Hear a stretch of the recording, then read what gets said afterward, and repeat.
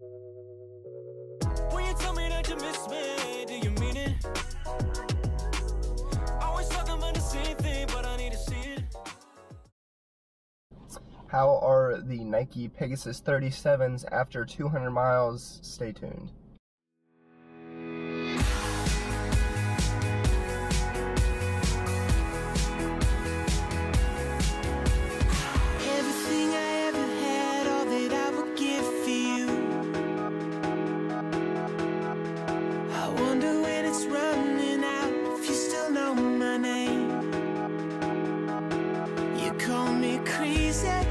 Must be baby, cause I still love you. Yeah, I still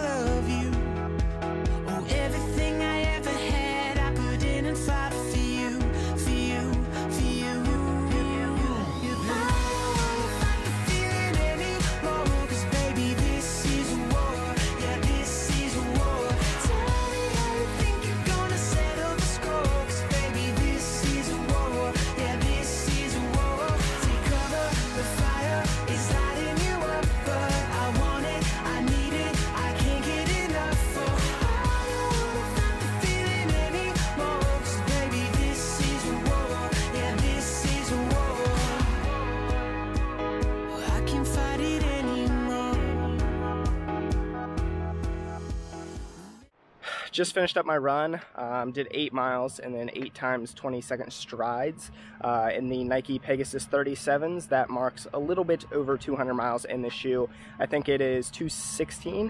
Um, but gonna get home, uh, stretch, shower, stuff like that, and then sit down and talk with you guys about how the shoe is doing. Just got back home from the run and now gonna sit down and talk about the Nike Pegasus 37s after 200 miles. Now, honestly not a lot has changed with this shoe from 100 miles to 200 miles. It still feels fantastic. Um, does obviously look a little bit dirty just because obviously i have been running a lot of mileage in it. Um, but overall still a really solid shoe. Cushioning still feels fantastic. Um, not really feeling like that's you know going down at all.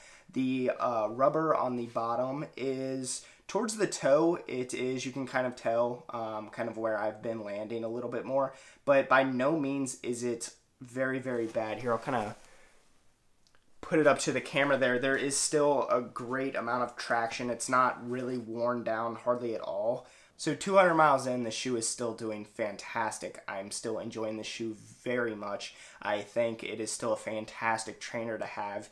And right now definitely my favorite trainer. Like go to mileage. I am running in this shoe. I do have another shoe in my rotation for workouts um, those being the zoom fly 3s but I think this shoe for your easy mileage days is you, you literally can't go wrong with this shoe. I think it is fantastic and I 100% would recommend it to anyone.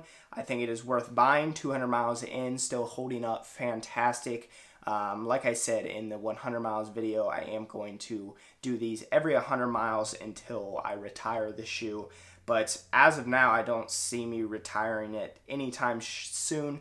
Um, I think it is holding up fantastic. A um, little bit of creasing in the foam, but the foam still feels great. The shoe still feels great, and I am very excited to keep running in this shoe. Thank you guys so much for watching this video. Hope you guys enjoyed, and I hope to see you guys in the next one.